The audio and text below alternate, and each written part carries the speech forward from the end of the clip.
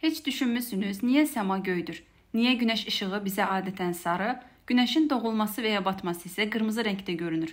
Bunun qısa cavabı odur ki, atmosferimizin molekulları, azot və ya oksigen molekulları mavi işığı qırmızıdan daha çox səpir.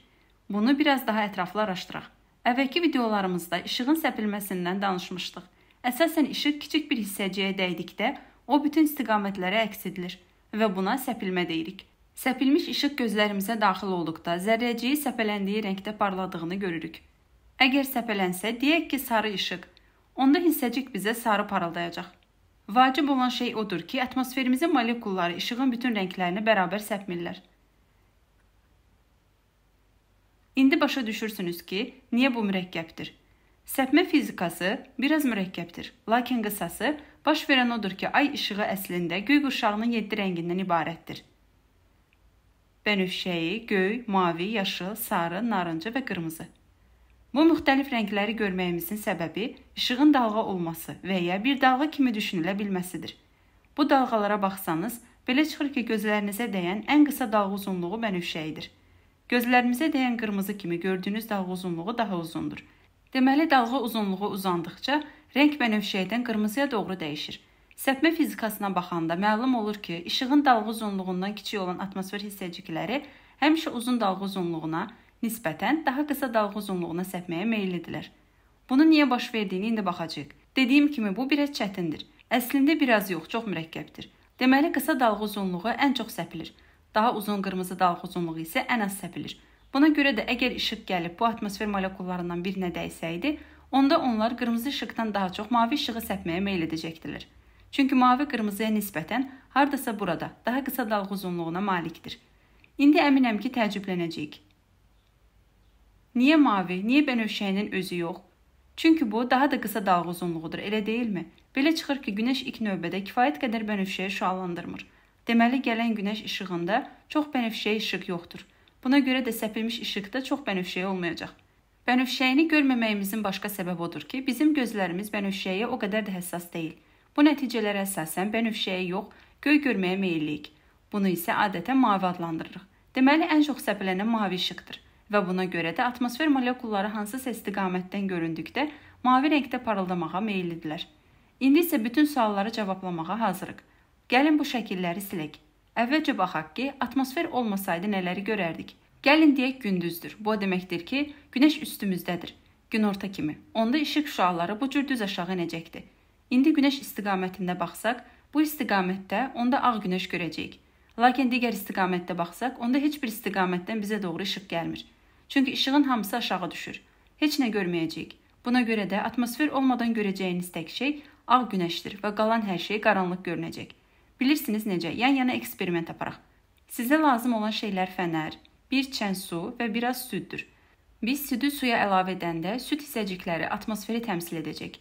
Aralarında süd zərrəcikləri olmadan birbaşa fənərə baxsanız, orada görəcəyiniz şey ağ işıq olacaq. Səmaya baxın, hər şey qaraldı. Tam olaraq burada, atmosfer olmadan gördüyümüz kimi. İndi gəlin atmosferi daxil edək. Atmosferi daxil edəndə günəş işığı bütün atmosfer hissəciklərinə düşür və dediyimiz kimi, ən çox mavi işıq səpələnəcək. Bütün rəngləri səpirlər, lakin ən çox səpilən mavidir. Nəticədə demək olar ki, bütün atmosferik hissəciklər mavi rəngdə parlayacaq. İndi hansı istiqamətdə baxsaq, görəcəyimiz şey mavi işıqdır.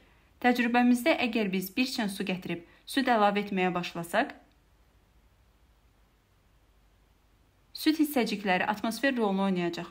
Atmosfer zərrəcikləri kimi ən çox mavi işığı səpəcəklər. Nəticədə bütün səma mavi parlayacaq. Çünki hər yerdə süd hissəcikləri əsasən bizə doğru mavi işıq saçır. Gözəldir, elə deyil? Diqqət etdinizmi? Səma mavi olan kimi günəş sarı oldu. Niyə sarıya çevrildi? Əgər bura qayıtsanız, ilkin gələn şüalar ağ rəngdədir. Lakin atmosfer hissəciklərinə dəyən kimi mavi işığı səpməyə başlayırlar. Gələn işıqda mavi səpildi.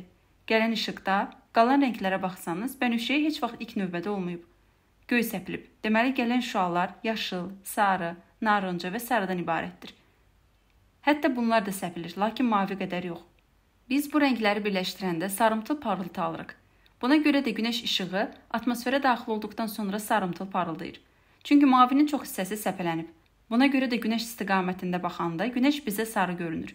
Təcrübəmizdə də eyni şey baş verir. Deməli belə, gün batarkən və ya gün doğarkən nə baş verir? Təsir və ya anlayış demək olar ki, eynidir. Yeganə fərq odur ki, günəş üfüqə yaxındır. Deyək ki, günəş haradasa burdadır. Bizə çatan günəş işığının şüaları atmosferdən keçir. Diqqət edin ki, əvvəlki ilə müqayisədə atmosferin daha uzun hissəsindən keçir. Yeri gəlmişkən bu işıq gözlərimizə çatanda nəinki mavi işıq səpilir, həm də yaşıl və sarı rənglərdə gedir. Çünki daha çox atmosfer molekuluna dəyir. Qurtulan yeganə rəng ən az səpilənən ən uzun dalğa uzunluğudur. Məsələn, narıncıya çalan qırmızı. Buna görə də bu işıq bizə çatana qədər daha çox narıncıya çalan qırmızı kimi görünəcək.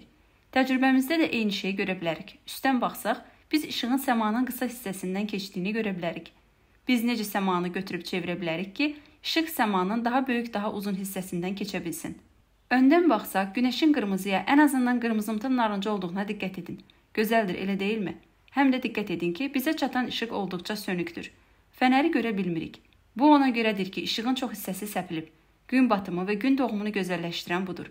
Çünki gözümüzü incitmədən birbaşa görə bilirik. Tez bir şəkildə mumləşdirsək, mavi səmanın və ya qırmızı gün batımını görməyimizin səbəbi işıq və ya ağ işığın atmosfer hissəciklərinə dəyməsidir. Onlar digər rənglərlə müqayisədə mavini daha çox səpirlər. Bitirməzdən əvvəl demək istədiyim son bir şey odur ki, niyə bütün buludlar ağ rəngdədir? Demək istədiyim odur ki, buludlar suyun kiçik damlacıqlarından yaranır. Günəşin işığı su damlalarına dəyəndə də mavi işığı bütün istiqamətdə səpirlər. Yəni buludlar mavi rəngdə görünməməlidirlər. Belə çıxır ki, işığın dalğa uzunluğundan daha kiçik olan zərrəciklər qırmızıya nisbətən mavi işığı və ya uzun dalğa uzunluğu olanlara nisbətən qısa dalğa uzunluğu olanları daha çox səpirlər. Onlar oksigen, azot molekullarıdır. Atmosfer molekulları və suda tapdığımız süd hissəcikləri bu kateqoriyaya aiddir. Əgər zərrəciklər işığın dalğa uzunluğundan daha böyük olarsa, Bu cür hallarda belə çıxır ki, onlar bütün rəngləri bərabər səpəcəklər. Deməli, buludlarda tapılan su damcıları işığın dalğa uzunluğundan daha böyükdür. Ağ işıq onlara düşəndə bütün rəngləri bərabər səpirlər. Nəticədə onlar yalnız ağ işığı səpirlər. Buna görə də biz buludları ağ rəngdə görürük. Duman və ya çən də bu kateqoriyaya aiddir. Onlar hətta bizə olduqca ağ görünürlər.